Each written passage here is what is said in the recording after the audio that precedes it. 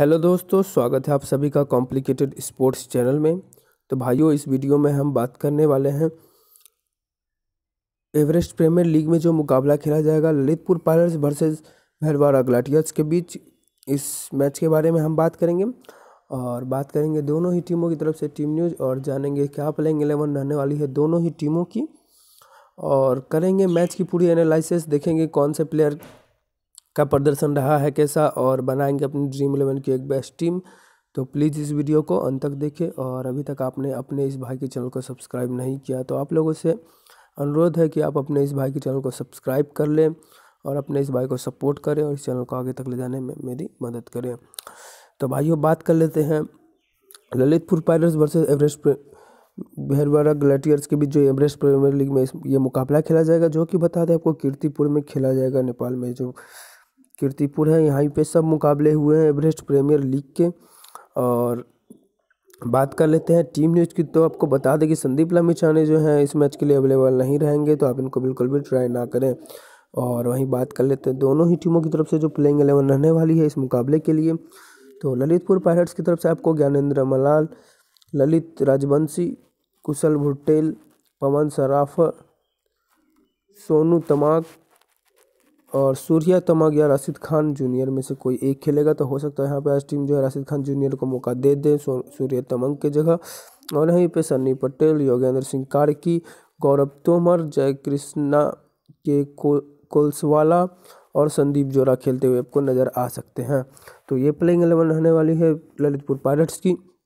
और वहीं बेरवाड़ा ग्लेटर्स की बात करें तो आपको प्रदीप आयरे, कुशल मलाल रविंद्र सिंह रंटन डिस्काटे सराद विवास्कर, एम डी आरिफ शेख, रोहित कुमार पौडेल, मोहम्मद नवेद, भुवन कार्की, कृष्ण कार्की और अविनाश बोरा। तो ये प्लेइंग एलेवन रहने वाली है भैरवाड़ा गलाटियर्स की तरफ़ से। और वहीं अगर बेस्ट पिक की बात करें, दोनों ही टीमों की तरफ़ से, यानी कि दोनों ही टीमों की तरफ़ से जो अच्छा प्रदर्शन किया है, प्लेयर ने बता देता हूँ कुछ।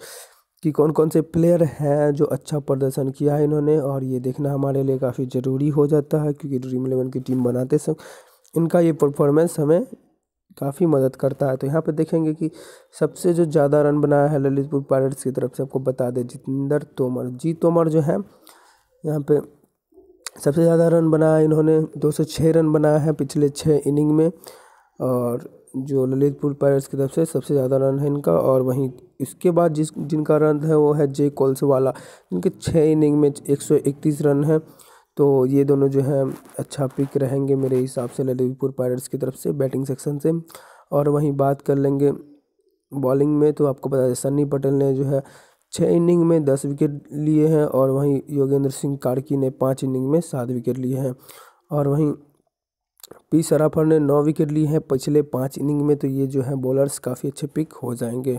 और वहीं बेस्ट पिक की बात करें, भैरवाड़ा ग्लेटियर्स की तरफ़ से आपको बता दें, रविंद्र सिंह ने बनाया है तीन सौ आठ रन पिछले सात इनिंग में तो काफ़ी अच्छा प्रदर्शन कर रहे हैं। रविंद्र सिंह पिछले सात इनिंग में जो बनाया है 308 रन, वहीं रंटन डिस्काटे ने बनाए हैं एक सौ पैंसठ रन और छः विकेट लिए हैं इन्होंने पिछले सात इनिंग में तो काफ़ी अच्छा पिक हो जाएँगे। और यहाँ पे एस डी वास्कर अंठानवे रन नाइन्टी एट रन बनाए इन्होंने और छः विकेट लिए अंठानवे रन और छः विकेट लिए पिछले सात इनिंग में इन्होंने। और वहीं बॉलिंग सेक्शन से बात करें तो मोहम्मद नवेद ने लिए हैं पाँच इनिंग में दस विकेट और वहीं ए बोहरा ने लिए हैं सात विकेट सात इनिंग में। और वहीं के कारगी ने लिए चार विकेट चार पाँच इनिंग में। तो ये जो है कुछ बेस्ट पिक होने वाले हैं भैरवाड़ा गलाटियर्स की तरफ़ से। तो चलिए देख लेते हैं आप किस प्रकार ड्रीम इलेवन की टीम बना सकते हैं इस मुकाबले के लिए।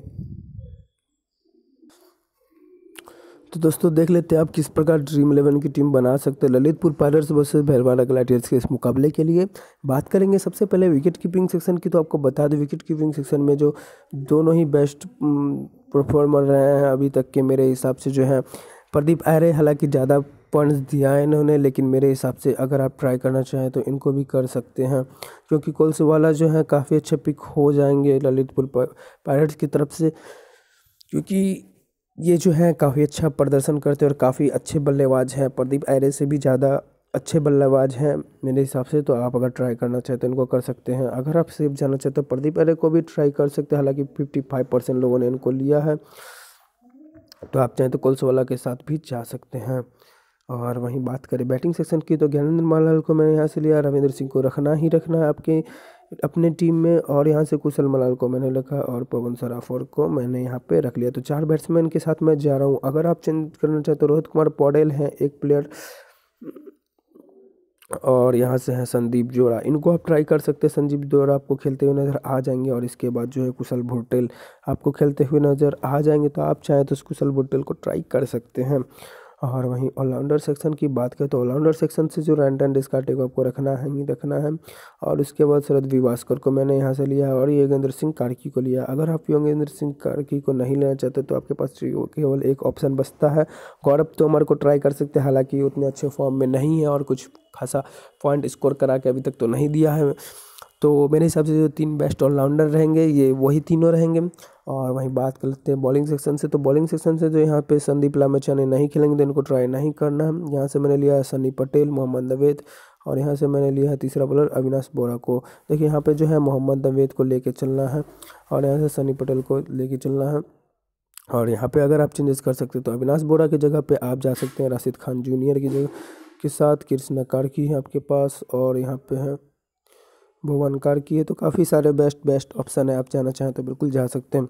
हम बात कर लेते हैं कैप्टन वाइस कैप्टन की जो चॉइस रहने वाली देखिए कैप्टन वाइस कैप्टन की अगर आप चॉइस की बात करें तो अगर आप बैटिंग सेक्शन से किसी के साथ जाना चाहें तो सबसे बेस्ट ऑप्शन होंगे रविंद्र सिंह। रविंद्र सिंह सबसे बेस्ट ऑप्शन रहने वाले हैं बैटिंग सेक्शन से कैप्टन वाइस कैप्टन की चॉइस के लिए। और वहीं बात कर लेते हैं ऑलराउंडर सेक्शन से अगर आप जाना चाहते हो रेंटन डिस्काटे और जो है विवास्कर या फिर योगेंद्र सिंह कारगी। या फिर आप क्या कर सकते हैं यहाँ से?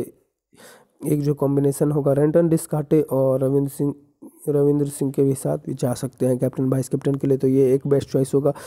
हालाँकि मैं यहाँ से योगेंद्र सिंह कार्की को रख रख देता हूँ। हालाँकि इसमें थोड़ा सा रिस्क होगा। और अगर आप सेफ़ जाना चाहें तो यहाँ से जा सकते हैं रविंद्र सिंह के साथ। तो देख लेते हैं टीम प्रिव्यू तो यह हमारी टीम रहने वाली इस मुकाबले के लिए। अगर आप जाना चाहें तो बिल्कुल एक दो चेंजेस करके जा सकते हैं। और वीडियो पसंद आए तो वीडियो को एक लाइक ज़रूर करें और हमारे चैनल को सब्सक्राइब ज़रूर करें और वीडियो देखने के लिए आपका दिल से बहुत बहुत धन्यवाद।